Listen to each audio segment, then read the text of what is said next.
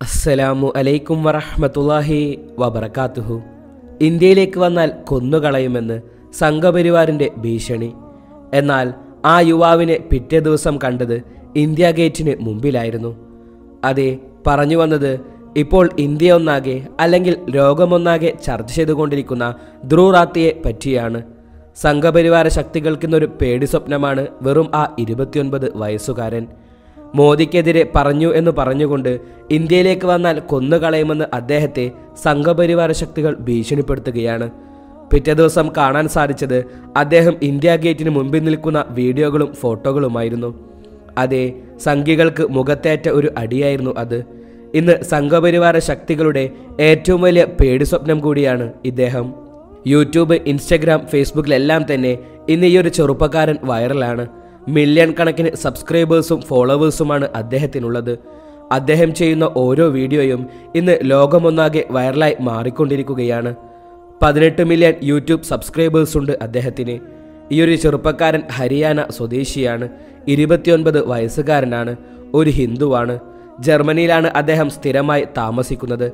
സംഘികൾക്ക് നേരെ കനത്ത പോരാട്ടം നടത്തുന്ന ചെറുപ്പക്കാരൻ. മോദിക്കെതിരെ മുഖം നോക്കാതെ ഉള്ള കാര്യങ്ങൾ വിളിച്ചു പറയാൻ തന്റെ ഇടം കാണിക്കുന്ന ചെറുപ്പക്കാരൻ. ഇംഗ്ലീഷിലും ഹിന്ദിയിലുമാണ് അദ്ദേഹത്തിന്റെ അവതരണം.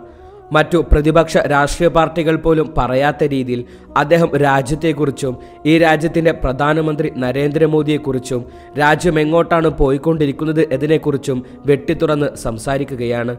പണം കണ്ടാൽ മുട്ടിലിഴയുന്ന വെള്ളയും വെള്ളയും ധരിച്ച കതിർധാരികളായ രാഷ്ട്രീയക്കാരനല്ല അദ്ദേഹം. പണം കണ്ടാൽ വീഴുന്നവനല്ല. അതെ ഇന്ത്യയുടെ പ്രധാനമന്ത്രി നരേന്ദ്രമോദിയെ കിങ് ജോങ് ഉന്നുമായാണ് അദ്ദേഹം സാമ്യപ്പെടുത്തുന്നത്. മോദി അതുപോലെ ഏകാധിപതിയായി പെരുമാറുന്നുവെന്നാണ്.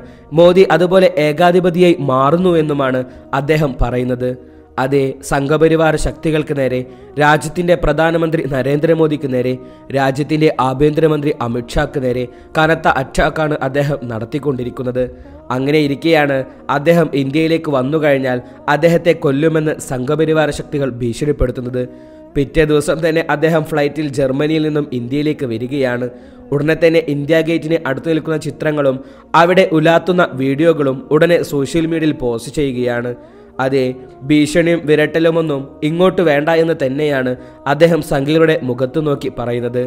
അതെ ഇന്ന് ഇന്ത്യയിൽ സംഘപരിവാർ ശക്തികൾക്ക് നേരെ ഏറ്റവും കൂടുതൽ ഭയമില്ലാതെ പോരാടിക്കൊണ്ടിരിക്കുകയാണ് ഈ ഒരു ഇരുപത്തിയൊൻപതുകാരനായ യുവാവ്. അതെ അദ്ദേഹം ഒരു ഹരിയാന സ്വദേശിയാണ് ഹിന്ദുവാണ്. അദ്ദേഹത്തിനറിയാം ഇപ്പോഴത്തെ ഇന്ത്യയുടെ അവസ്ഥ എന്താണ് എന്നുള്ളത്. അതുകൊണ്ട് തന്നെ സംഘപരിവാര ശക്തികൾക്ക് നേരെ നിരന്തരം അദ്ദേഹം പ്രതിരോധം സൃഷ്ടിച്ചുകൊണ്ടിരിക്കുന്നു. ഭയമില്ലാതെ പോരാടിക്കൊണ്ടിരിക്കുന്നു. ഇതുപോലുള്ളവരാണ് നമ്മുടെ ഇന്ത്യയിൽ ഇന്നത്തെ ആവശ്യം. വർഗീയവാദികളെ തച്ചുടയ്ക്കാൻ വർഗീയവാദികളെ അധികാരത്തിൽ നിന്നും താഴെ ഇറക്കാൻ നാം മുന്നോട്ട് വരേണ്ടിയിരിക്കുന്നു. ശക്തമായി നാം പോരാടേണ്ടിയിരിക്കുന്നു. അള്ളാഹു സുബഹാനോ താല കാത്തുരക്ഷിക്കുമാറാകട്ടെ ആമീൻ.